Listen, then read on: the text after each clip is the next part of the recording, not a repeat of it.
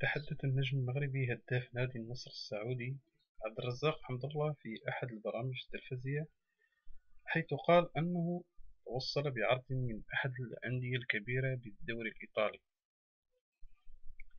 وقال حمد الله لقناة Medi1 TV إن فريقا إيطاليا كبيرا تقدم له بعرض فاجأه وهو الآن متريث لا يرغب في اتخاذ أي قرار إلى حين إجراء انتخابات مجلس الإدارة بالنادي النصر وتابع هداف الدوري السعودي أنه بغض النظر عن الفريق الكبير الذي ينشط في الدرجة الأولى من الكالتشيو فإن أندية أخرى تقدمت بعروض مادية ضخمة إلا أنه لا يفكر في مغادرة النصر الذي منحه الثقة ليظهر إمكانياته ويصل لما هو عليه الآن.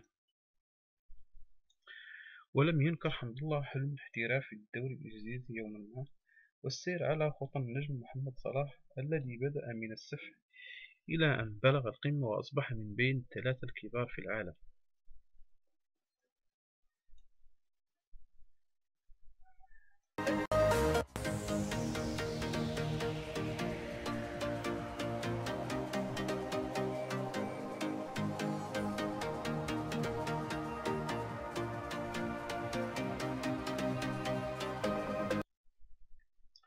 وبالموازاة مع الأحداث التي شهدها ملعب رادس في نهائي إياب عصبة الأبطال إفريقيا بين الترجي الرياضي والوداد البيضاوي يروج الآن فيديو يوثق اشتغال تقنية الفار قبل بداية المقابلة. وكان الوداد قد رفض إكمال المباراة إلى أن يتم الاحتكام لتقنية الفار في الهدف الذي رفضه الحكم باكاري غاساما. والتي تبين أنها كانت معطلة طوال المباراة يقرر الفريق الأحمر عدم لعب اللقاء الذي انطلق في 31 ماي وسينتهي في فاتح يونيو. وأعلن الاتحاد الإفريقي لكرة القدم عن فوز الترجي بلقب دوري أبطال إفريقيا في ليلة ستبقى وصمة عار على الكاف.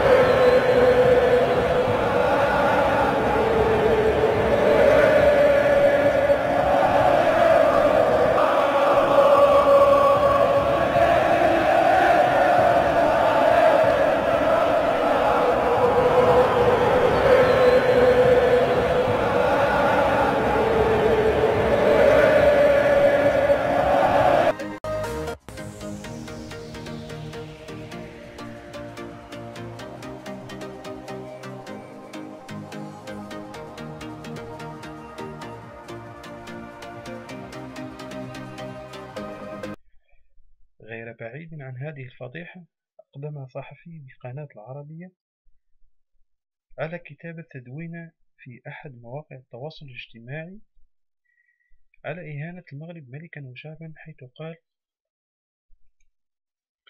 لليوم عندما تتحدث مع أي مغربي سيقول لك إن بطولة أمم إفريقيا التي فازت بها تونس على حساب المغرب عام 2004 كانت هدية من الملك المغربي لزين العابدين بن علي. الآن يقولون إن قرار منح الترجي بطولة أبطال إفريقيا كان لأسباب أمنية. القرقوب المغربي أحسن سلعة في العالم. وبذلك يستمر مسلسل الخبط التونسي الذي أحبك خيوط مؤامر ورط فيها حكاما أفارقة ابتدأت في مسرحية مباراة الذهاب بالرباط وتابعنا الفصل الثاني من المسرحية بملعب رادس بتونس. الصحفي بدل أن يدين الغدر بالفريق المغربي في بلده دفاعا عن شرف وطنه وانتصارا للعب النظيف فضل أن يكون جزءا من مسرحية الغدر.